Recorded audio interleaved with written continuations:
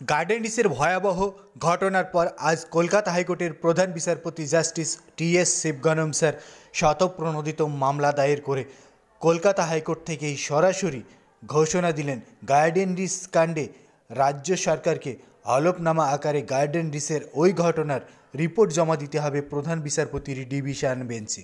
Garden dish কাণ্ড নিয়ে জল ঘোলা হয়েছে রাজ্য রাজনীতিতে। গার্ডেন ডিস কাণ্ড নিয়ে সব থেকে বড় বিষয় যেটি, সেটি হলো ওই এলাকার সাধারণ মানুষের নিরাপত্তার বিষয়। ওই বিল্ডিং এমনভাবে ভেঙে পড়েছে, যদি আরও বেশি কিছু হতো, তাহলে গার্ডেন ডিস এলাকার আরও সাধারণ মানুষেরও ক্ষতি হতে পারত।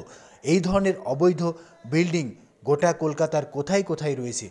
গার্ডেন ডিসের ঘটনায় গাফিলতির দায় কার? পৌরসভার কোন আধিকারিকের?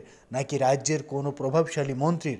সবটাই খতিয়ে দেখার জন্য রাজ্য সরকারের কাছে সরাসরি হলফনামা তলব করল কলকাতা হাইকোর্টের প্রধান বিচারপতি টি এস শিবগরমের বেঞ্চ।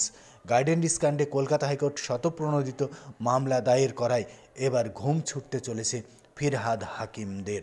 ফিরহাদ হাকিমদের সহযোগী ওই যে কুখ্যাত অপরাধী চোর, ওই যে কাউন্সিলর, সেই কাউন্সিলররাও যে এর সঙ্গে জড়িত, সেটা স্পষ্ট হয়েছে। তাই এবার গার্ডেন কাণ্ডে সরাসরি শতপ্রণোদিত মামলা দায়ের করে প্রধান বিচারপতির ডিভিশন বেঞ্চ রাজ্যর ঘাড়ে বন্দুক রাখল।